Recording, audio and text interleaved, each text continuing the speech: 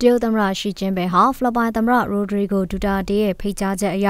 နိုင်ငံတော်အဆင့်ခီးစဉ်အဖြစ်နိုဝင်ဘာလ20ရက်နေ့မှာဖိလစ်ပိုင်နိုင်ငံကိုရောက်ရှိလာခဲ့တယ်လို့သိရပါဗျ။ဒီခီးစဉ်ဟာနှစ်နိုင်ငံမဟာဗျူဟာမြောက်အကျိုးစီးပွားကိုတိုးမြင့်ဖော်ဆောင်မှုရည်ရွယ်တယ်လို့ဖိလစ်ပိုင်ခေါင်းဆောင်ပိုင်းကလည်းတရုတ်အစိုးရထံကနေဒေါ်လာဘီလီယံပေါင်းများစွာရှိတဲ့ချေးငွေနဲ့ယင်းနှိမ့်နှံမှုတွေကိုမျှော်လင့်ထားတာဖြစ်တယ်လို့သိရပါဗျ။ ဖိလစ်ပိုင်သမ္မတရိုဒရီဂိုဒူတာတီကအမေရိကန်ကိုတိမ်ညွတ်တဲ့နိုင်ငံခြားရေးမူဝါဒကိုပြောင်းလဲကတရုတ်နိုင်ငံနဲ့ပုံမနီးကပ်တဲ့ဆက်ဆံရေးကိုထူထောင်သွားမယ်လို့အတီလင်းပြောဆိုခဲ့ပြီးနှစ်နှစ်အကြာမှာပဲသမ္မတရှိရဲ့ဖိလစ်ပိုင်ခီးစဉ်ပေါ်ပေါက်လာခဲ့တာဖြစ်ပါတယ်။ အရင်ကတော့တရုတ်နဲ့ဖိလစ်ပိုင်နိုင်ငံအကြားမှာဆယ်စုနှစ်တွေနဲ့ချီပြီးခါးသီးတဲ့ပင်လယ်ရေကြောင်းဆိုင်ရာအငင်းပွားမှုတွေနဲ့အပြန်အလှန်မယုံကြည်မှုတွေရှိနေကြတာဖြစ်ပါတယ်။သမ္မတရှီကျင်းပင်ဟာဘရူနိုင်းနိုင်ငံကိုတွားရောက်ခဲ့ပြီးနောက်မှာဖိလစ်ပိုင်နိုင်ငံရဲ့မြို့တော်မနီလာကိုရောက်ရှိလာခဲ့တာဖြစ်ပြီးဒီခီးစဉ်ဟာ73နှစ်အတွင်းဖိလစ်ပိုင်နိုင်ငံကိုရောက်ရှိလာတဲ့တရုတ်ခေါင်းဆောင်တဦးရဲ့ပထမဆုံးခီးစဉ်လည်းဖြစ်ပါတယ်။ သမ္မတရှီဟာနိုဝင်ဘာလ20ရက်နေ့နှောင်းပိုင်းမှာဖလော်ပိုင်သမ္မတရိုဒရီဂိုဒူတာဒီနဲ့